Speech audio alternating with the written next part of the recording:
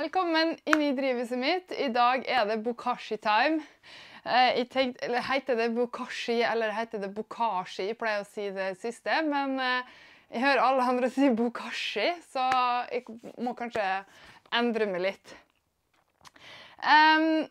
Det er kanskje det første jeg vil anbefale den som skal begynne med kjøkkenhage. Starte opp med å kompostere matavfallet ditt. For det er en utrolig ressurs som vi bør utnytte. Det er så mye krutt i um, det her matavfallet. Og det enkleste, i hvert fall for nybegynnere, er å, å kompostere det ved hjelp av bokashi.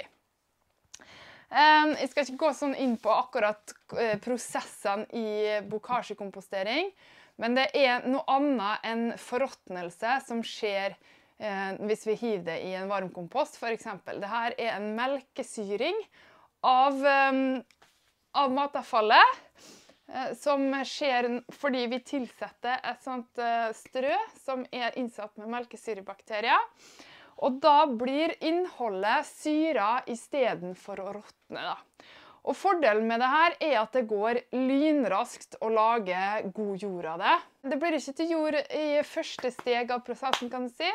Men når det kommer i kontakt med jord, som er steg to, da blir dette her til jord eh, på eh, ultra, ultrakjapt, kan du si. Så det er det som er den store fordelen med det. Og nå skal jeg tenkte jeg skulle vise hvordan jeg gjør det.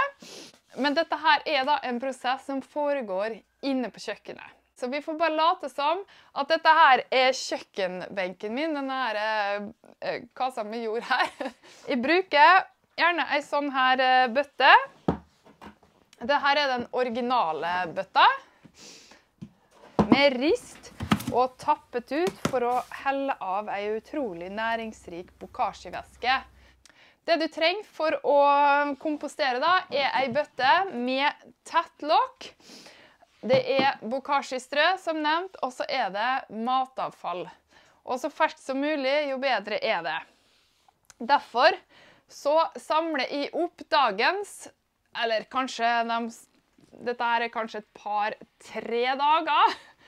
Vil jeg tro vi har brukt på å fylle denne her. Denne her står på kjøkkenbenken inne på kjøkkenet, sånn at det det er lett for oss å sette denne her eh, over på der vi holder på å kappe grønnsaker og sånn, så vi kan bare fylle opp eh, innimellom. Og her er det da tørkepapir, det er gamle brødskiverester, det er kaffegrut som du ser på toppen her. En rasta pitabrød det er i går, og litt løk og eggeskall og ja, sånn som, sånn som de fleste har, vil jeg tro. Når jeg starter opp ei ny bøtte som har ei rist i bunn, så starter jeg alltid med et lag strø for at bakteriene skal ha størst angrepsområde. Så legger jeg inn matavfallet lagvis med strø imellom. Strøet er ganske drøyt i bruk, bare ca. to spiseskjeer per liter. Et lite dryss. Melkesyrebakteriene trives best i luftfattig miljø. Derfor komprimerer jeg innholdet så godt jeg kan. Jeg bruker bare litt avispapir mellom hånd og avfall og klemmer til. Nedbrytinga går fortere jo mer finfordelt innholdet er. Derfor river vi alltid opp avisene, ellers kan de være litt seigkompostert.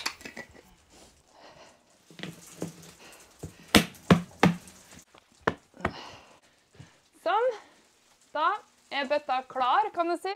Og så setter jeg den Eller den er jo ikke full nå, eh, men da setter jeg den under kjøkkenbenken eller Eh, eller en annen varm plass til oppbevaring til i morgen eller dagen etter når jeg, eh, jeg skal fylle den opp igjen.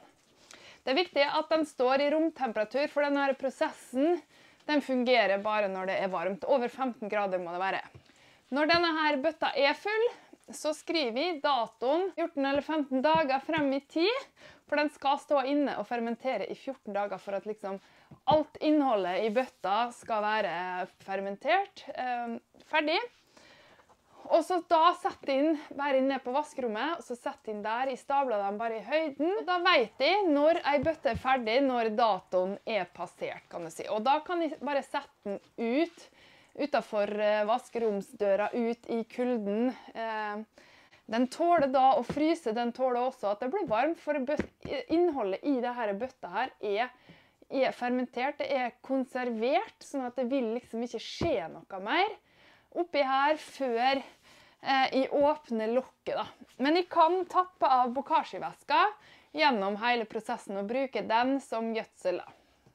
Nå har jeg vært og henta meg ei sånn her majonesbøtte, for den bruker jeg også til å eh, supplere disse her originale når jeg trenger litt flere. Vi er, jo, en stor familie, eh, og jeg regner med at vi produserer i alle fall tre sånne her bøtter i løpet av uka, så det går med en del. Og da Jeg har to sånne, og det rekker liksom ikke Det holder ikke til å, å få dem i omløp, for de skal jo stå 14 dager inne, så da blir de liksom okkupert. Så vi trenger kanskje i alle fall seks stykker da for å få det til å gå rundt. Og Da har jeg noen sånne, og det kan en også fint bruke. De er jo ikke like stilige akkurat når de står strødd rundt i kjøkkenhagen. Men da legger du bare litt avispapir eh, i bunnen hvis du vil bruke en sånn her for å samle opp denne væska som, eh, som samler seg i bunnen her. Og nå tenkte vi skulle se hvordan det ser ut nedi her. Eh, denne her datoen her står 25. i andre, så det vil si at det var da den var ferdig. Da satt den ut i kjøkkenhagen her, eh, og der har den stått siden. Eh, men det vil si at dette matavfallet er fra 14 dager tidligere. Så, og det, du kan se at det ser akkurat likedan ut. Eh, ei brødskive. Beklager, altså det er veldig, ganske ekkelt å se andre sitt matavfall, vil jeg tro. Men her er det altså en sånn kaffe Kaffegrut og Jeg vet ikke helt hva dette der var. Tørkepapir. Ja, men det ser denne brødskalken her, den ser jo akkurat likedan ut. Og det er ikke noe antydning til mugg eller noe sånt. Og det lukter, det lukter eh, sterkt syrlig. Noen syns det lukter spy. Eh, det syns ikke jeg, men eh, smaken er som baken, som heter. Eh, men det skal ikke lukte sånn eh, forråtnelse, da. Da er det noe som har eh, gått galt. Ja, da, eh, Det var det for i dag. Jeg kommer til å lage flere videoer om bokashi fremover.